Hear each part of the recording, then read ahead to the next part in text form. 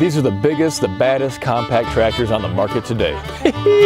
if you plan on storing your tractor indoors, pay close attention because it's going to be a tight fit depending if you have a cab or an open station. That'll lift your mother-in-law after Thanksgiving. Woo! Guys, how are we doing? Welcome to Good Works Tractors. This comparison here is one that uh, I have a lot invested in myself, not just in preparation for this video, but in trying to decide if I wanted a 4066R or an L6060. This one here is gonna be a really tough choice, and I mean that in a good way. Let's get into that now. So what we have here is a John Deere 4066R. It happens to be my own personal machine, and over here is a Kubota L6060. These tractors are at the top end, the biggest you can get in the compact tractor class. 66 horsepower, 62 horsepower. They're just the creme de la creme loaded to the max, loaded to the gills. You can get either one in an open station or a cab, but this is gonna be a tough decision for folks. To some extent, this will apply to the 4052 and the 4044R variants on the John Deere, and then over here on the L6060, it's not quite as streamlined, but you're gonna see variants like the, uh, the L5060, the L4060, a couple others also that'll have maybe slightly different options or slightly different capacities or uh, dimensional configurations, but they're going to be pretty close. So keep that in mind. We're looking at the L6060 and the 4066. If you like what you see here, consider giving me a thumbs up. And also, I've done a lot of comparisons between John Deere and Kubota, different frame sizes, different models. Check out those other videos there and those other comparisons to help find the right tractor for you. I know how difficult that can be. And if you want more great content, hit that subscribe button right underneath the video. I say it all the time and I bet a lot of you guys don't know where to find it, but seriously, there's a lot of links right down there in the description area of the video, just right underneath, okay? So check that out. Direct links to a lot of different manufacturers, places you can get 5% off with code GWT, or head on over to goodworkstractors.com. Enough jabbering, let's get to that comparison.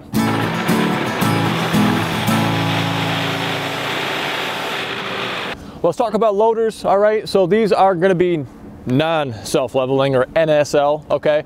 Uh, you can get a self-leveling loader on the John Deere. I've seen self-leveling options listed or discussed over here on the L6060, but I tried to find some information online. I couldn't find anything. If you've got a self-leveling loader for the L series, it'd be great to put some information down below about that. If we talk about max lift height right at the pivot point, so where that carrier, whether it's a John Deere quick attach or the skid steer quick attach, where those are gonna pivot at that pivot point, you got 110 inches to max height over here, 112 on the Kubota. Talking about lift capacities, how much these bad boys can lift up. On the Kubota, you're gonna lift about 2,350 pounds 2550 on this John Deere loader, so about 200 pounds more on the John Deere versus the Kubota, although you can potentially get a couple inches higher on the Kubota. But that's on the front end. We'll have to wait and see on the back end if the John Deere is stronger than the Kubota. Stick around to find out. I found it interesting as well, and I thought you guys might also where the lines are routed. So, of course, you're going to have some exposed areas kind of up here in the business end of things, but as they start to route uh, along the loader arm, you're going to see they're tucked nicely right under, underneath the steel on the underside. And same thing over on the John Deere, but that's not something that can be said on all the smaller models. It's just a nice thing to see because those loader lines are easily damaged. And also both of these machines are equipped with a, a, grapple ready or a third function or a diverter. You'll hear it called a lot of things. These are uh, third functions that are found on these tractors here, but you see an outlet that's mounted up here. Same thing, there's some outlets that are right here on the front end of the John Deere. Those are both allowing you to connect a grapple to it or a hydraulic plow blade, something along those lines to have an additional hydraulic function way up in front. Keep in mind these are options, not standard equipment. The last thing I want to mention is these are both going to be quick park or quick attach loaders. I will say, and maybe it's just my experience, the John Deere is probably a little bit easier to take off. However, watch some videos. These Kubotas are not too difficult to take off either. I'd like to take just a minute and talk about the hind ends on these tractors here. I mean, it's about as pretty as you can get, don't you think? But you got a lot going on here, including some standard features, also some optional features on both of them. It shows how they could be set up, but not necessarily how they will be set up if you're looking at something on the used market or even new. Now keep in mind, these are used, so they're gonna show a little bit of wear on them here and there, but you're gonna see a top and tilt uh, kit here. That's the additional hydraulics that are on the three-point hitch, and of course you need additional hydraulics on your tractor to be able to operate it, but they are gonna be a category one three-point hitch. You'll see they do have an adjustable uh, telescoping draft link right here, so you can easily adjust these in and out. You'll see drawbars are also going to be standard equipment along with a 540 RPM rear PTO. You'll see here on the Kubota, you have these additional adjustments here on the end of the three-point hitch. I've seen these on some of the John Deere, so I don't know if that's a standard feature. It could be optional. I'm not really sure, but the idea behind it is it's gonna make it a little bit easier if you're trying to hook up to a three-point attachment. As you can see over here on the John Deere, you're gonna have a similar setup including some options, not standard stuff. So you have additional hydraulics on there, the top and tilt kit.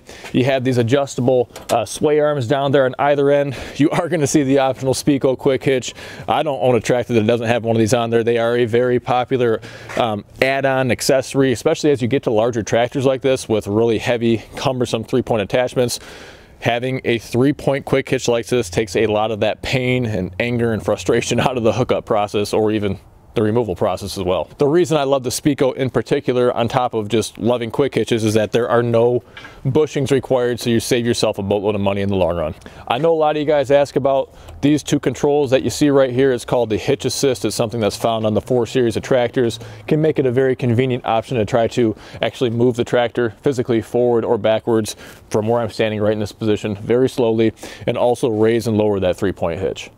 So let me tell you what the lift height is all the way to the center of uh, the ball here on the lower arm as well as how much you can lift.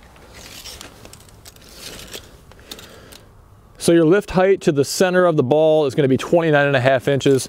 So to get an apples to apples comparison, we're going to use the 24 inches out uh, weight lift capacity that these things have. 24 inches out, you're going to be able to lift 2,500 pounds on the John Deere 4R series. Let's take a look really quick here at the Kubota as well, get you a little measurement on there, eh, about 27 and a half, so I guess a couple inches lower than the John Deere. However, it's going to lift a very impressive 3,000 pounds if we're talking about that same 24 inch uh, from the end of the ball dimension way out here. 3,000 pounds on your three-point hitch. That'll lift your mother-in-law after Thanksgiving. Woo! You are not going to feel like you're lacking for power on either one of these machines. The Kubota over here is powered by a Kubota four-cylinder turbocharged diesel engine, liquid cooled of course, about 149 cubic inches, 62 horsepower. Now the 4066 and all of the current 4 Series tractors are powered by 4-cylinder Yanmar diesel. Again, this version here is going to be turbocharged, also liquid cooled. It's going to be about 128 cubic inches driving 66 horsepower. So if you take a look at the hood design, you'll see on the Kubota, it is a one-piece design for the most part. So just one lever there, pull everything up. You have really nice access to the battery and everything else underneath. Over on the John Deere, you are going to have quick access with the hood, and then you do have side panels that come off with just the pull and twist of a little pin. There's no tools required. If we're talking about the Kubota L60 specifically, not the other variants that are available in the Kubota Grand L series. This is only in a hydrostatic transmission. However, it's a very advanced hydro transmission. You're going to have three ranges, high, medium, and low, and you're going to have two speed variants within each range, a high and a low, or you can see the turtle in the hare. Select your range down here, and then if you want to go in high or low up here. So basically you have six speeds total, double what most hydro transmissions have. Not only that, but you can also change these micro adjustments on the fly. Now you're going to have to pay close attention because if you look at another variant of the L series, the Grand L, like the 5060 or the 4060 or a couple of the others that are mixed in, you will have other transmission options available. Uh, a sync shuttle, okay, which is similar to a, almost a standard gear drive, and then also a glide shift, which allows you to, at least my interpretation of Kubota's glide shift, uh, shift actual gears without having to clutch. I always like to point out how the pedal is different on the 6060 versus the other variants in the Kubota lineup where they have more of a treadle pedal design. This really isn't like that at all. It's kind of like a side-by-side -side pedal with your go forward on the out and you go backwards on the end. You can choose to put your foot up here and rock it forwards and backwards if you want to, but it's totally different than the traditional treadle that runs really long right in here.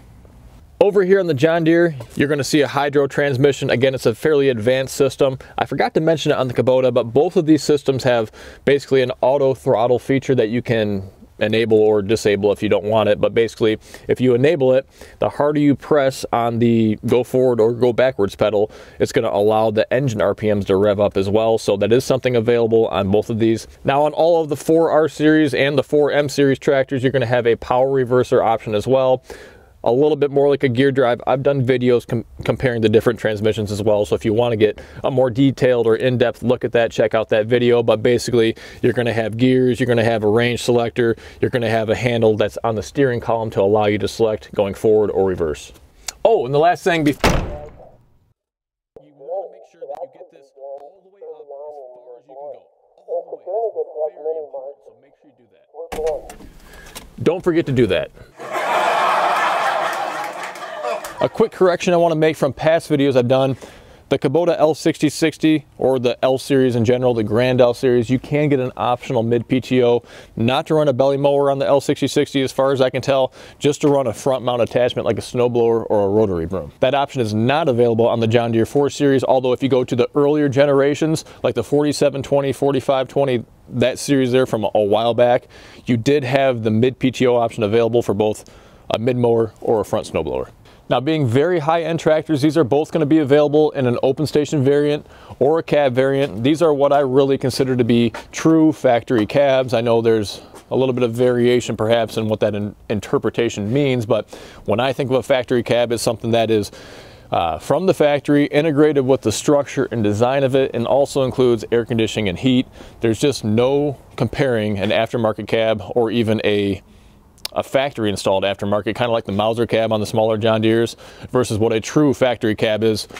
The one here from John Deere or the one offered by Kubota, there's a lot of details and information online, but they are very, they're just very well constructed, put together, very quiet, comfortable.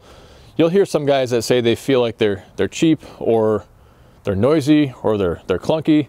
I've sat in these over and over and over. I've sat in other machines as well. I love them. I, I, don't I don't see what these problems are all about. For you guys that have larger frames, I'm six foot three, about 200 pounds.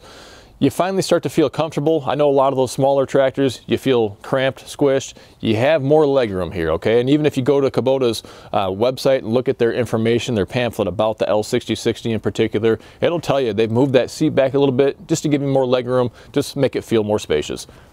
Same thing can be said over here for the John Deere 4066.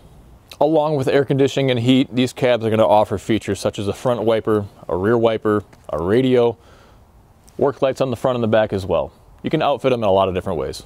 Let's go over a few critical dimensions, wheelbase, width, height, that kind of thing real quick. Don't want to spend a lot of time on it, but just give you some numbers. Wheelbase, okay, center to center on both axles here, 73 inches on the John Deere. Over here on the Kubota, 75 inches. So a couple inches longer on the Kubota John Deere, a little bit shorter. Let's give you the width really quick on the outside to outside of the rear tires. Keep in mind, there's gonna be some variation both depending on what tires you're running and the rims, as well as if you have them positioned in a narrow or a wide setting, that kind of thing. Just a measurement, a data point for you, 72 inches outside to outside on the John Deere. If we take that same measurement over here on this Kubota, you're gonna have about 68 inches outside to outside. Now you'll notice eight-way wheels that are on the Kubota here, meaning you have a potential to have eight different widths, okay, from narrow to wider out. You're gonna have a lot more variation and flexibility here to really make it more stable side to side, but the standard setup is gonna be about 68 inches, which is what it says online. We can grab a seat height as well to kind of give us that feeling that we'll have on the operator station.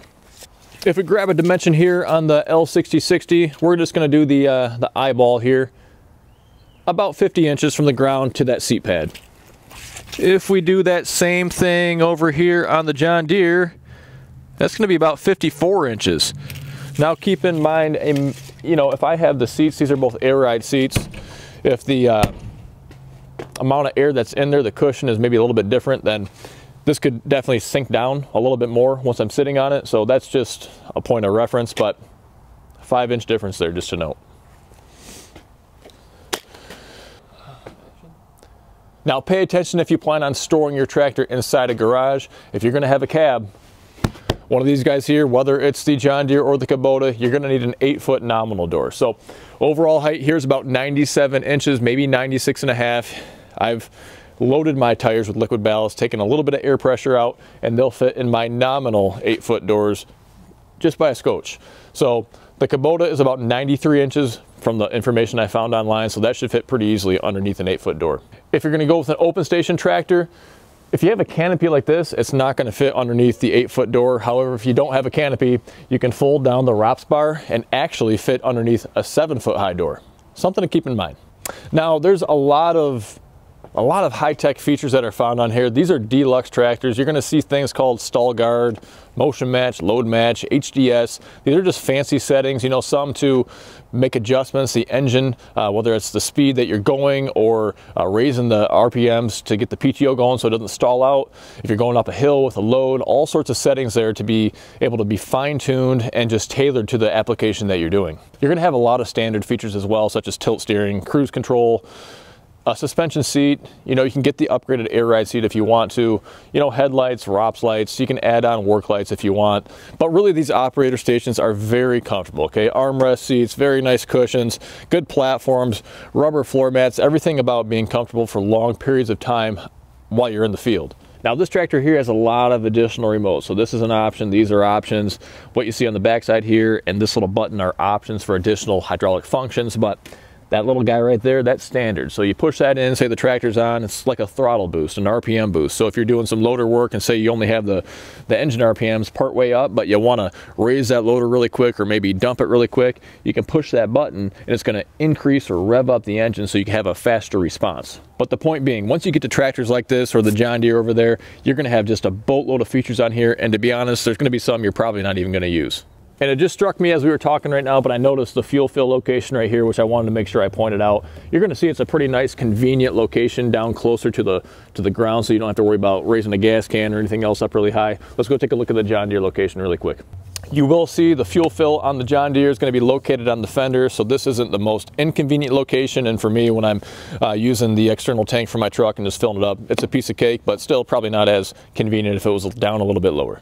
And a real quick note on backhoes, because I know some of you ask, I just want to point out that if you do a dimension, a, uh, a two foot flat bottom digging depth, you're going to have 102 inches on the John Deere versus 110 inches over on the Kubota. That's going to just about sum it up there, folks.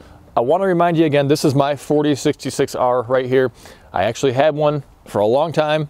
I sold it, I regretted it, and I bought it again. I will say though, I looked long and hard at the L6060 in the cab station. I really I wouldn't mind if I had one of these. I, I, absolutely love them. I think they're amazing. There's some features on here that I wish the John Deere had and vice versa. I really love that micro adjustment within the hydro transmission as well. So if you want to get more in depth on either one of these machines here, I've done other videos on the 4066R done videos on the L6060 as well. And also check out all the hydraulic options. It'll give you some ideas even if you don't end up getting a tractor new or maybe you have one already and you want to see how to outfit it and configure it. If you like what you see here, I'd really appreciate a thumbs up and also hit that subscribe button. And don't forget to read through that description right down there underneath the video. A lot of helpful links down there for cool products for tractor owners or head on over to goodworkstractors.com. Thanks so much for taking the time to stop by. Until next time, stay safe. We'll see you soon.